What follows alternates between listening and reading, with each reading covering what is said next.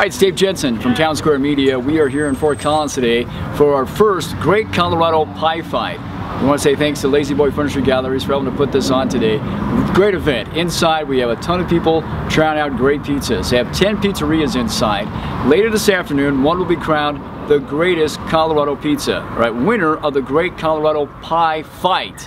Meanwhile, in just a few minutes, a few of our disc jockeys are going to compete in the inaugural Great Colorado Pie Eating Contest, where they're each going to get a medium-sized pizza courtesy of LaPorte Pizza, and they're all going to get five minutes. Right, the timer goes off, they've got five minutes to eat as much pizza as they can.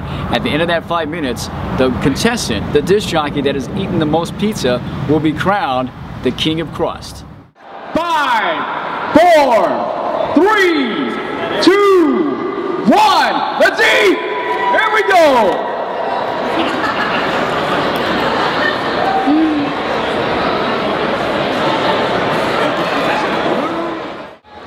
Brian Gary halfway through his pie. Beano as well halfway through his pie. He's on to the second half. Paul doesn't seem to know what he's doing. Paul eats a pizza pizza, puts it down, goes to another slice. He'll figure it out. He's got two or three minutes left. How much time? We are two minutes and nine seconds in so far. A minute 20 left on the clock. Five minutes total for the Great Colorado Pie Eating Contest. I do not know the Heimlich. You're on your own, Mr. Wozniak. We have a winner! Ted All right, so we're here at the La-Z-Boy Great Colorado Pie Fight. And we just got done doing the pizza eating contest, which was a medium pizza in five minutes. And as you can see, this is the mark of a champion. Oh, Way to represent the point. Mm -hmm. So, uh, what was your strategy? How did you feel? What was going through your head? Strategy is just eat fast.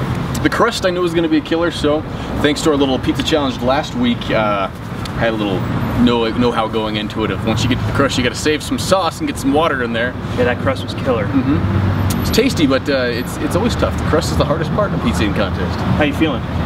Surprisingly well.